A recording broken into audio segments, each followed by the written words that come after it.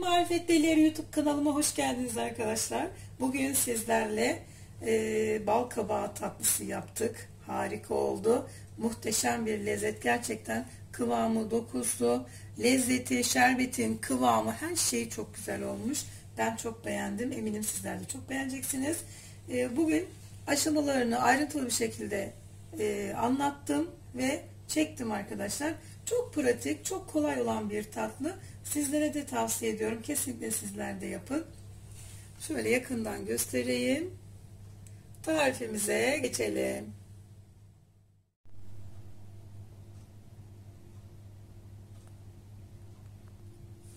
Evet arkadaşlar ben kabaklarımızı şöyle güzelce soydum.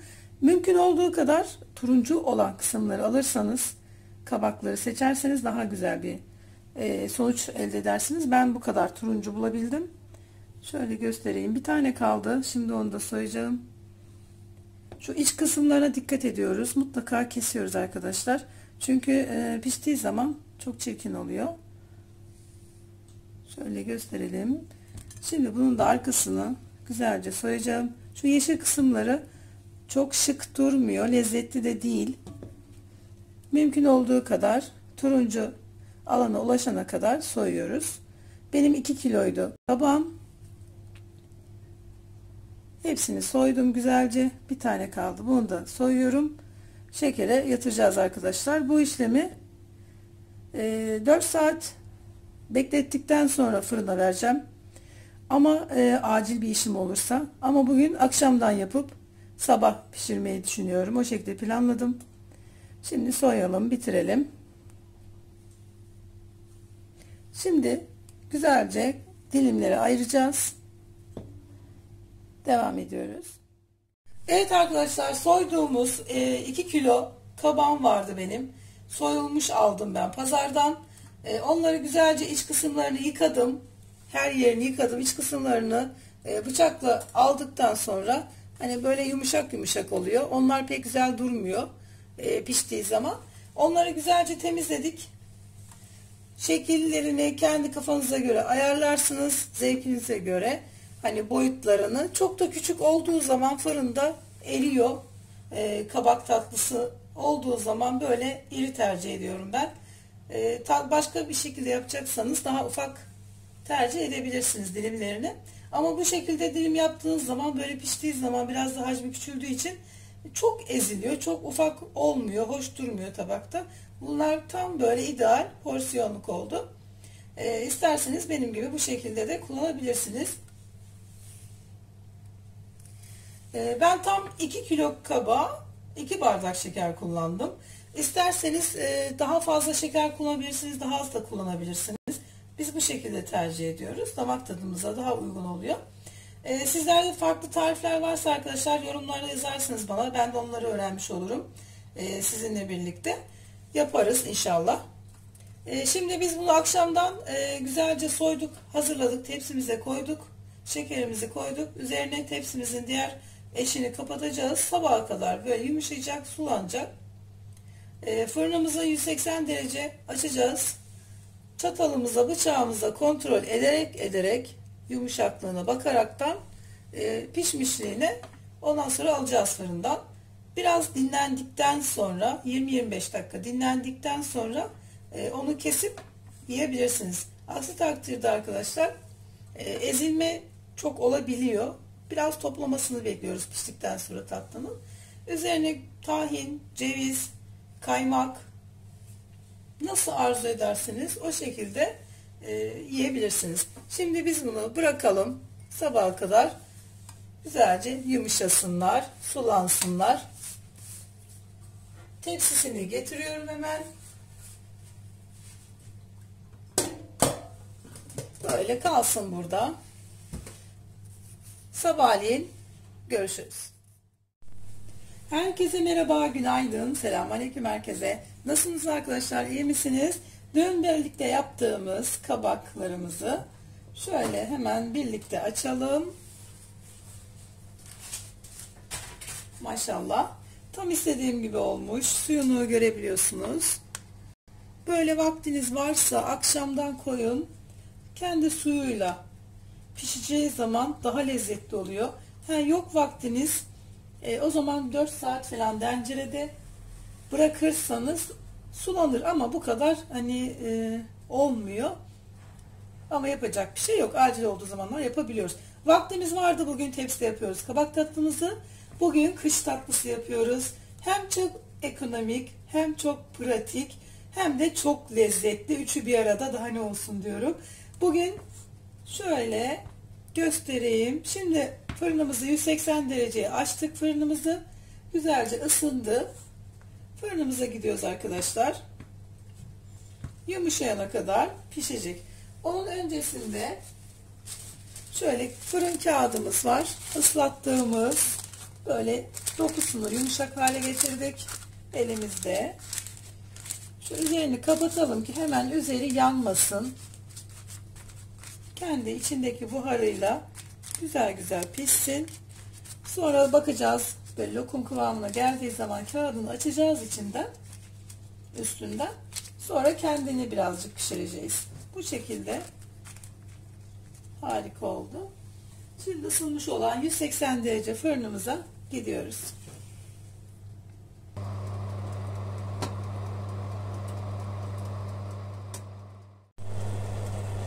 Şimdi fırınımızın içine bakıyoruz. Şöyle. Evet harika olmuş. Çok pişmesini istemiyorum. Ezilir. Suyuna bir bakalım. Şimdi üzerinden alacağım. Şöyle güzelce suyunu iyice çekene kadar üzeri biraz daha kızarsın. Tamamdır. Yardım arkadaşlar kabaklarımızı. Şöyle biraz soğusun. Çok güzel oldu. Böyle alda kıvamı oluyor. Şerbeti tamamdır o zaman. Şöyle mis gibi lokum gibi olmuş. Tam istediğim kıvamda. Biraz soğusun. Servis tabağında görüşürüz. Soğumuş olan tatlımızdan servis tabağımıza alalım. Çok güzel olmuş gerçekten de. Bayıldım. Kesinlikle tavsiye ediyorum. Şöyle şerbeti bir harika olmuş. Kendisi de öyle. Beni buraya kadar izlediyseniz arkadaşlar abone olmayı, zilin sesini açmayı unutmayın. Yaptığım tüm tariflerden haberdar olursunuz. Şöyle güzelce koyalım.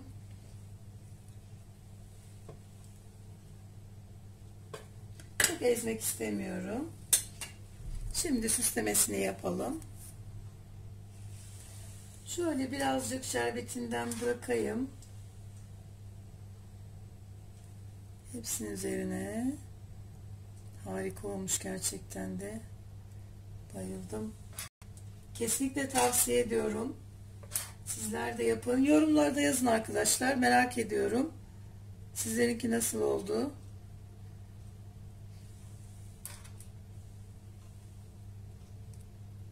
Çok şerbetine koymayacağım. Çok tatlı olur yoksa. İsteğe göre yiyenler koyabilir. Evet şimdi şöyle birazın iki tanesine tahin dökmek istiyorum. Çok lezzetli oluyor tahinle. Yemeyen arkadaşlarımız varsa mutlaka denesin. Birazcık ceviz serpiştirelim. Çok yakışıyor.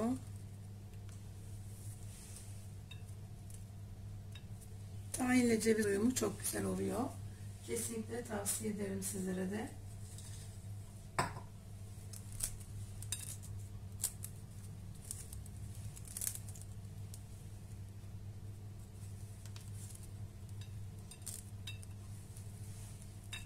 Mis gibi bir koku var burada. Diğer ikisini de şöyle kaymak koymak istiyorum.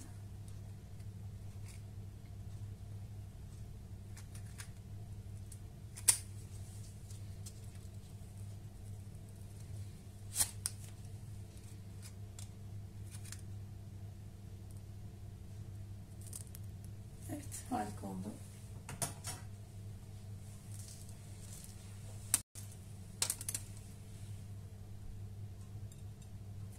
Kaymaklı olanı fıstıkla süslemek istiyorum. Muhteşem görünüyor. Tamamdır.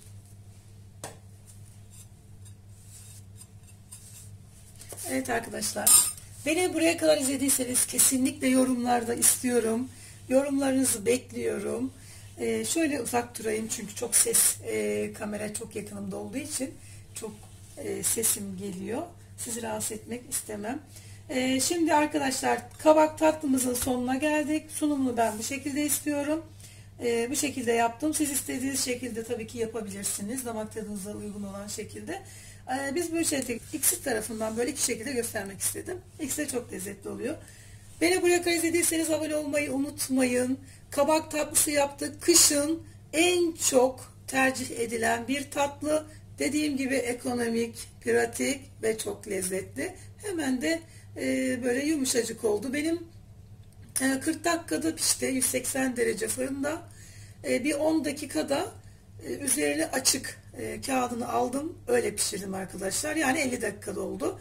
E, bu harika bir şekilde pişti. Ben şimdi hemen size kesip göstereceğim arkadaşlar. Yakından gösterdikten sonra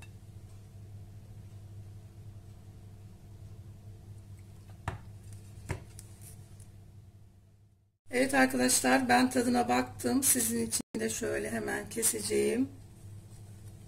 Gerçekten çok güzel. Mis gibi olmuş tadı. Size göstermek istiyorum şöyle.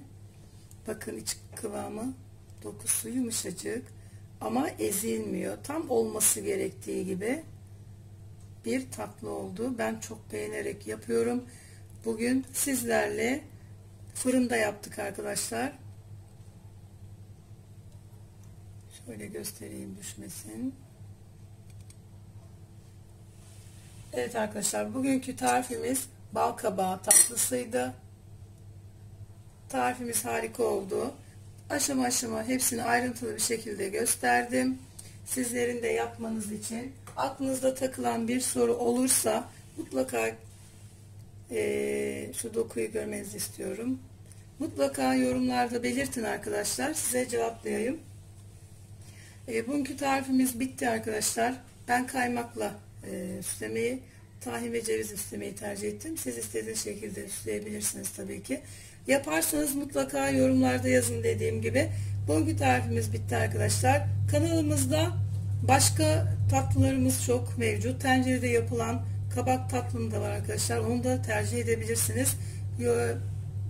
Yapabilirsiniz. O daha çabuk oluyor. Ama e, zamanınız varsa dediğim gibi fırında yapmanızı tercih ederim. Tavsiye ederim kendi adıma. Bugünkü tarifimiz bitti. Hoşçakalın, sağlıklı, mutlu günler diliyorum hepinize.